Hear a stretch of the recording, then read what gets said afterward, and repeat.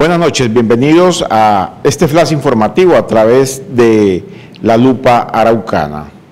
Hoy es 9 de febrero del año 2022, Día del Periodista. Hoy se conmemora en todo el territorio colombiano el Día del Periodista y desde acá, desde la lupa araucana, felicitamos a todos nuestros colegas que ejercen en el departamento de Arauca.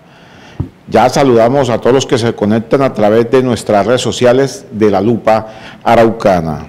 Y entrando en materia, pues hoy, en el Día Nacional del Periodista, pues la prensa en Arauca sigue amenazada.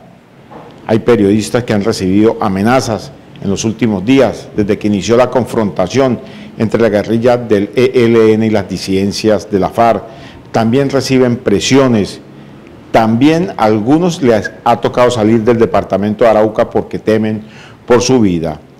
Tanto la Fundación para la Libertad de Prensa, FLI, y la Federación Colombiana Periodista FECOLPER han hecho un llamado al gobierno nacional para que se le garantice la seguridad a los periodistas que están amenazados en el departamento de Arauca y que dejen por fuera a los periodistas de este conflicto armado que se vive. Continuación presentamos la siguiente nota donde dialogamos con varios periodistas donde nos dan a conocer qué tan difícil es ejercer el periodismo en Arauca. En el departamento de Arauca, cada día se convierte más peligroso para ejercer el periodismo. La presión, las amenazas de muerte y hasta el exilio de los periodistas son el pan de cada día en esta región del país. La prensa debe quedar por fuera del conflicto armado que se está presentando. Orgulloso, muy orgullosa de los colegas, de los hombres y mujeres que ejercen el periodismo como usted en el departamento de Arauca, valientes, comprometidos. Eh, muy difícil la situación, Carlos. Muy difícil este año para Arauca, para su gente y para los periodistas. Volvieron las amenazas, volvió el desarraigo, volvieron eh, eh, a acechar a los periodistas.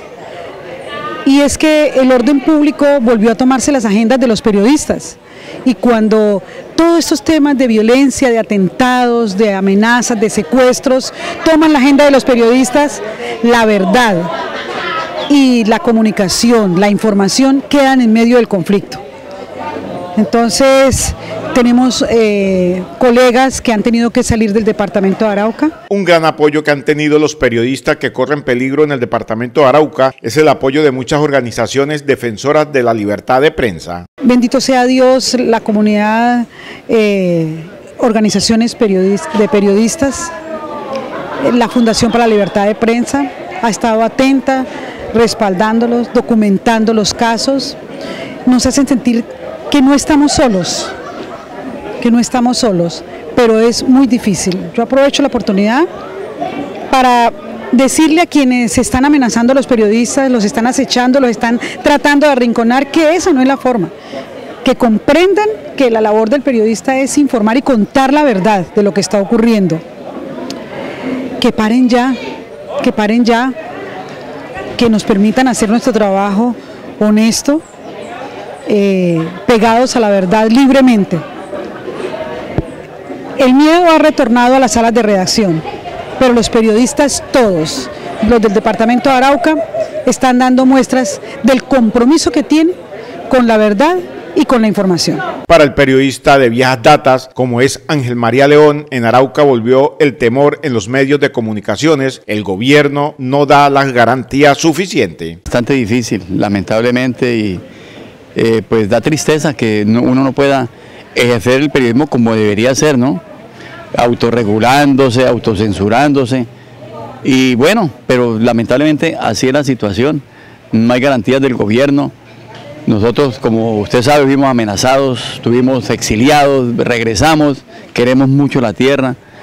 Eh, y seguimos en, la, en la lucha eh, lamentablemente no es nuevo lo que está ocurriendo en Arauca, ya eh, se ha repetido esta situación, épocas como la del 2002, 2003, muy difícil, y pues casi siempre ¿no? uno tiene que tomar sus medidas para poderse movilizar, para poder ejercer, eh, autocensura, presiones de parte y parte de los irregulares, del gobierno, de las autoridades, en fin, es, bastante difícil.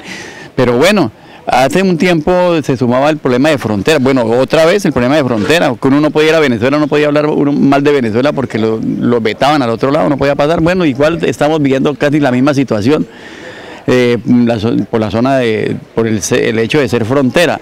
Y ahora con el recrudecimiento del conflicto, pues peor.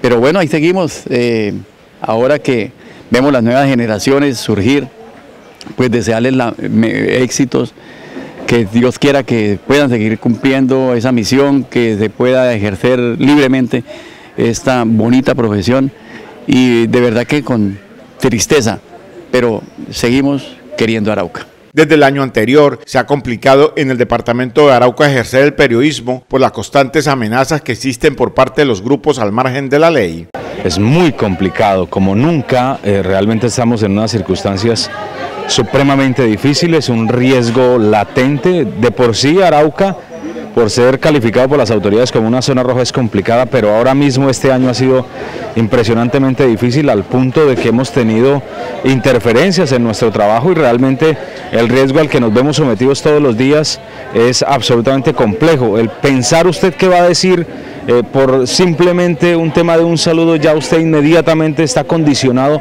a ver bajo qué circunstancias se están presentando los hechos. La actuación de los actores armados durante este último mes larguito que tenemos de este año realmente nos mantiene con miedo, zozobra, temor a toda hora y una autocensura que nos corresponde por estar en el territorio, por tener nuestras raíces acá que tratamos de hacer todo el esfuerzo posible para entregar la información de manera objetiva, clara, precisa, pero con un miedo a flor de piel permanentemente y también el de nuestras familias por si alguna circunstancia, Dios no lo quiera, nos pueda suceder. Desde que inició la confrontación entre las guerrillas del ELN y las disidencias de la FARC, se ha complicado ejercer esta profesión en el departamento de Arauca. Complicada la situación que se vive actualmente en el departamento de Arauca, inclusive en la hermana República Bolivariana de Venezuela.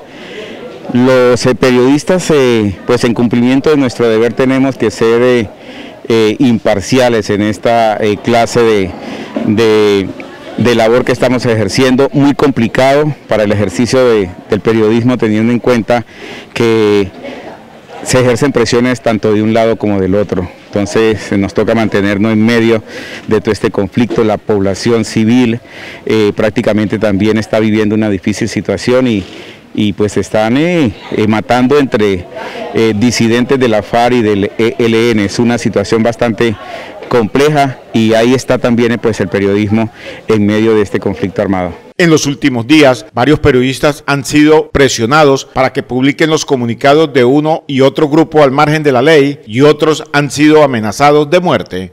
Nos presionan para que publiquemos lo que ellos quieren. Nos amenazan con quitarnos la vida. Las autoridades no actúan con contundencia. Tememos por nuestra familia. Esto no es un juego. Van a atentar contra nosotros. La Fundación para la Libertad de Prensa FLI y la Federación Colombiana de Periodistas FECOLPER le han hecho un llamado al gobierno nacional para que les garantice la seguridad a los periodistas del departamento de Arauca.